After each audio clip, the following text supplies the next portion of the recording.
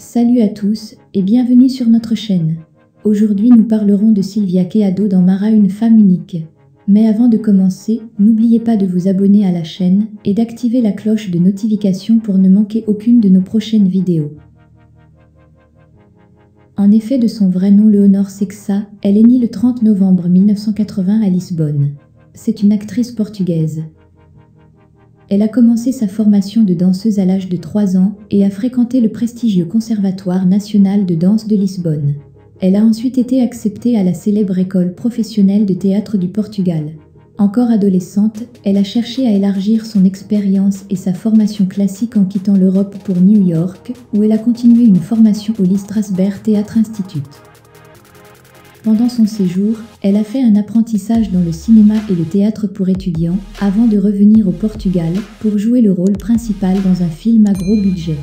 Le succès d'audience de ses projets a fait que Léonore a été très demandée. Au cours de la dernière décennie, elle a travaillé sans interruption dans des films, plusieurs séries télévisées, des productions théâtrales, des publicités et des voix off. Sa carrière a conduit à un succès international. Léonore a été sélectionnée pour une série télévisée de Prime Team au Brésil, un rôle qui l'a fait qu'elle soit aimée du public sud-américain. Elle a été nominée à plusieurs reprises et, en Espagne, au Vénéré Festival du film de Valence, elle a été nommée meilleure actrice avec le film À passage M danois, un film qui a été primé dans des festivals du monde entier.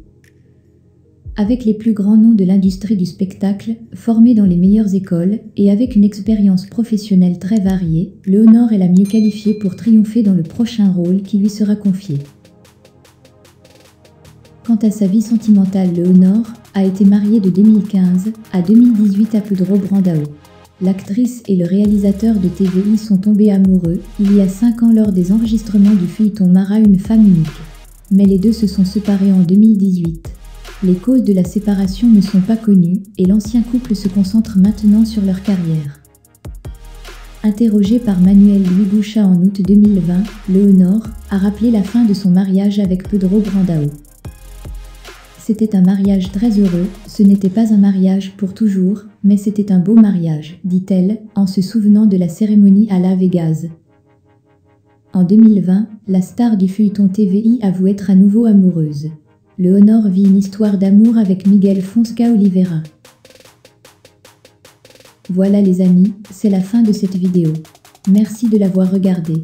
Surtout n'oubliez pas de vous abonner sur notre chaîne afin de ne manquer aucune de nos prochaines vidéos. A très bientôt.